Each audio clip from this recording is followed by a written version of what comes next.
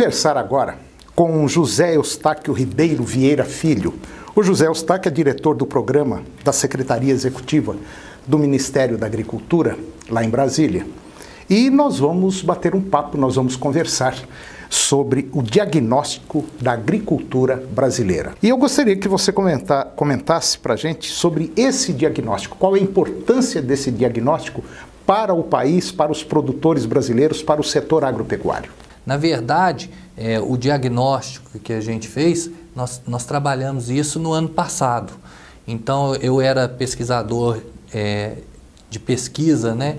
no, no, Instituto de Economia e Pesquisa Aplicada, o IPEA. O IPEA. Uhum. E o IPEA ele tem uma tradição de fazer alguns documentos para entregar para os futuros governos. Então, no ano passado foi feita uma publicação que chama Desafios da Nação.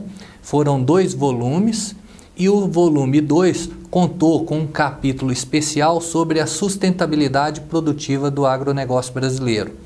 Então, é, nesse documento, a gente fez um, um amplo diagnóstico né, com algumas linhas gerais para serem estudadas. Então, a partir desse documento, a gente começou a fazer um projeto de pesquisa mais específicas. Nós tivemos alguma, alguns, é, algumas instituições que nos ajudaram a financiar é, essas pesquisas, né? então teve um acordo de cooperação técnica entre o Tesouro Nacional, o PNUD uhum. e o uhum. próprio IPEA, e nós começamos a focar em estudos mais aprofundados em cada um desses temas.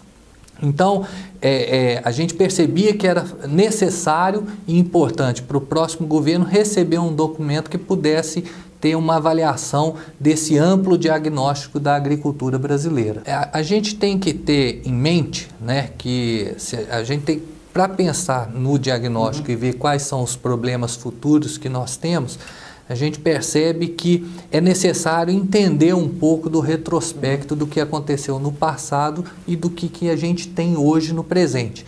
E fica muito claro, né, desde a da, da, criação da Embrapa na década de 70 até os dias de hoje, que o, o vetor principal do crescimento econômico no setor agropecuário foi justamente o investimento em ciência e tecnologia.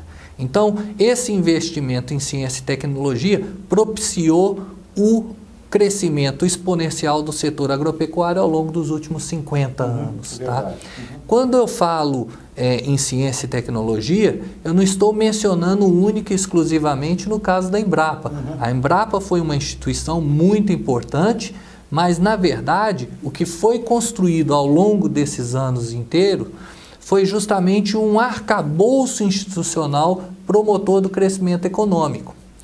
E eu costumo mencionar o seguinte: se você comparar o setor agropecuário com os outros setores de atividade econômica que existem na economia brasileira, a gente pode dizer claramente que o setor que conseguiu de fato aumentar a produtividade e é, gerar um crescimento produtivo que outros setores não conseguiram foi o setor agropecuário.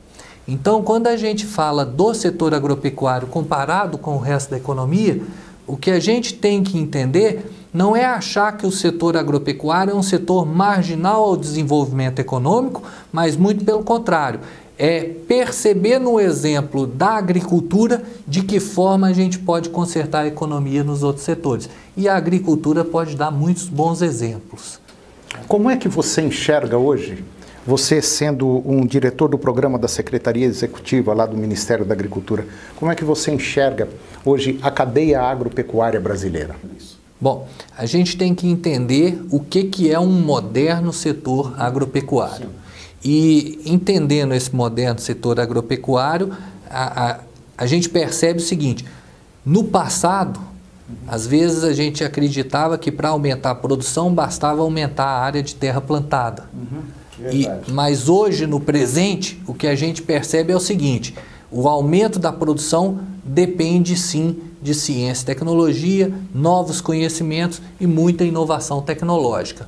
O que eu quero dizer é que, para que a gente chegue nesse modelo de uma moderna agricultura, é preciso um estágio institucional de avanço e crescimento muito grande. Então não é da noite para o dia que essas coisas acontecem. Uhum. Eu costumo mencionar o seguinte: quando eu era estudante é, no, no colégio, o livro de geografia que a gente tinha mostrava o cerrado brasileiro como uma região improdutiva e até em alguns momentos fazia uma caricatura do, do, do, bioma, dizendo o seguinte: que as árvores eram baixas, de galhos retorcidos, justamente por causa da péssima qualidade do solo.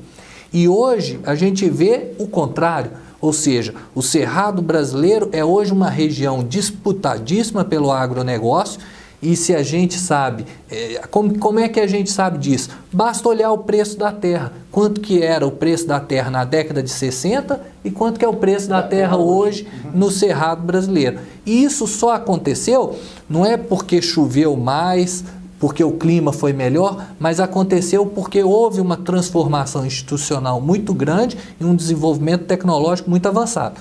Então, voltando à sua pergunta, eu vejo o setor agropecuário hoje como uma cadeia produtiva muito complexa.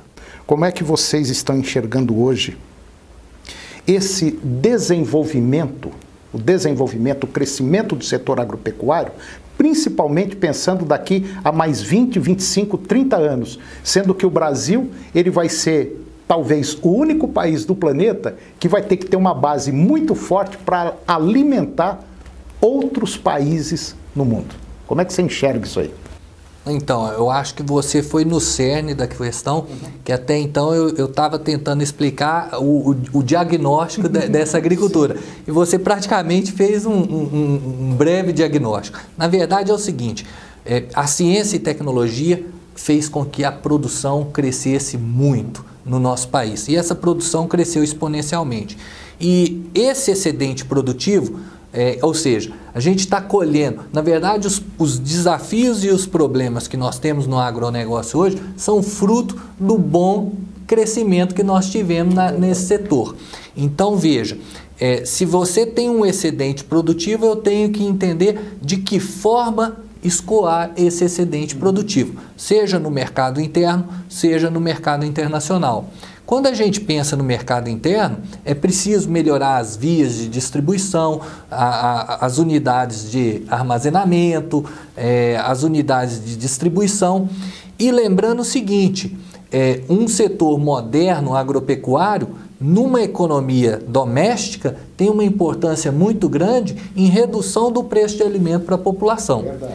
Se a gente pode mencionar uma política de redistribuição de renda que aconteceu da década de 70 até hoje e que foi mais bem sucedida do que qualquer outra implementada por qualquer um dos governos, foi o crescimento do agronegócio, que fez com que o preço do alimento caísse e que a parcela que o trabalhador destina à compra de alimentos se tornasse muito menor. Então hoje algo em torno aí de 25% é, é, do orçamento familiar é gasto com alimentação.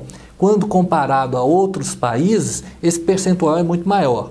Então, é, se você, por exemplo, mora na Europa, o percentual que você gasta com alimentação é chega praticamente a 50% do seu orçamento. Ou seja, é, esse é um, um retorno indireto que poucos veem, mas é que é muito importante, seja para redistribuição de renda, seja para contenção dos preços na economia doméstica. Esse é um ponto. No mercado externo, a gente tem que entender o seguinte: esse excedente, que não vai ser incorporado dentro da economia doméstica, ele precisa ser exportado. E normalmente, quando ele é exportado, é, ou, é, ou é por agricultores que estão melhores inseridos dentro da economia e dentro do cenário internacional, ou são produtos mais elaborados que também geram um valor agregado maior.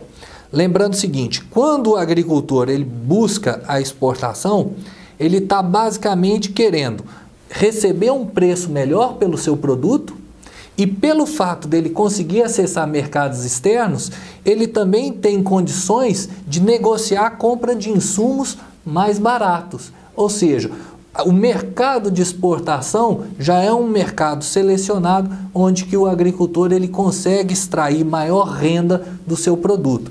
Então veja, essa exportação ela é muito importante. A gente pega da década de 70 para cá, o país, além de diversificar sua pauta produtiva, melhorou também a sua exportação para diversos países. Mas é bom lembrar que é, na década de 90 para cá também houve uma transformação muito grande que também fez com que você tivesse um crescimento muito forte das exportações. Então, eu posso te dizer o seguinte: o setor agropecuário é também um dos principais setores que tem uma competitividade maior e que pode trazer um aumento de divisas dentro da economia brasileira nesse sentido. Ok, obrigado.